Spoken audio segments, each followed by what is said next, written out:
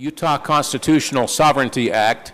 Senate, Senate Bill 57, titled the Utah Constitutional Sovereignty Act, means to create a process by which Utah can respond to federal directives the legislature considers unconstitutional. Senator Scott Sandall, the bill's sponsor, says SB 57 will allow lawmakers to propose a resolution to address questionable federal policy and that, once thoroughly vetted and ultimately signed by the governor, would direct state agencies not to comply with the federal policy until such a time as when a court ruled for or against it. Once created, the resolution would go through the regular legislative process and ultimately require the signature of the governor should it reach that point. During a House committee hearing held Wednesday, Sandall gave an example of how the process proposed by SB 57 could have recently been used.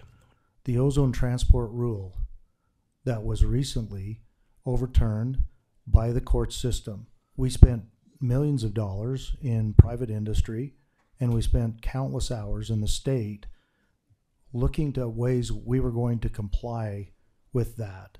At the same time a lawsuit was filed, we, we joined in a lawsuit with other states.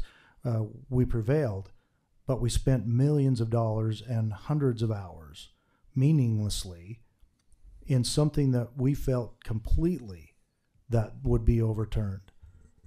This moves the presumption on those kind of issues, saves the state money, saves our private industry money, by saying, we think this is so far out of line with your constitutional right and it infringes upon the state in such a way that we're not going to be complicit until a court would tell us or rule against us. SB 57 passed the Senate before reaching the House committee and now moves toward the House floor for consideration.